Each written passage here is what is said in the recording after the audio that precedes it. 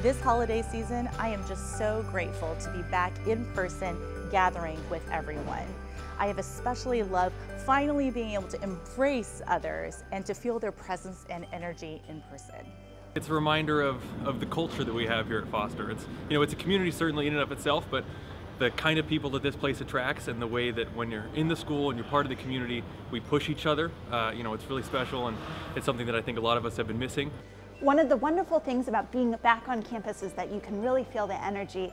A special part of the Foster community is that it's a place for people to meet and share ideas, and I am so excited to see those exchanges happening on campus once again. I love being back on campus. The energy and the atmosphere of just being in a room with about 100 other students, all coming from different walks of life and you know really thinking about like what is what is out there for us? You know what are these challenges that people are facing in real life business scenarios?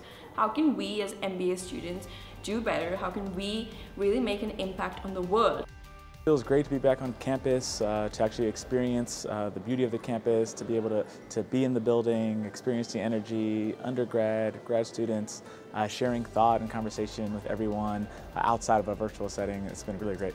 I'm so excited to be back in the building, not just on my own, but to have all the students, all of you back in the building, to feel the energy of people walking around, walking the corridors, and stopping by. People finally knocking on my door, coming into my office to, to talk. I'm very excited to be back with my team to tackle business problems during our case comp together. We're really excited for the next couple of quarters to finish out our program in person yep. and uh, we want to wish you happy holidays!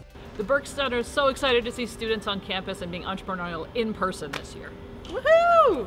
Now we get to take like classes together, compare homework. Yeah. And it's just a lot more fun. I'm so happy to be back here on campus with these amazing students. I'm so happy to finally come back in person after so long because I finally will have students laughing at my jokes. Happy holidays, everyone. Happy holidays indeed. And from all of us here at the Foster School, we wish you a new year filled with kindness, joy, good health, and time with family and friends. Happy holidays!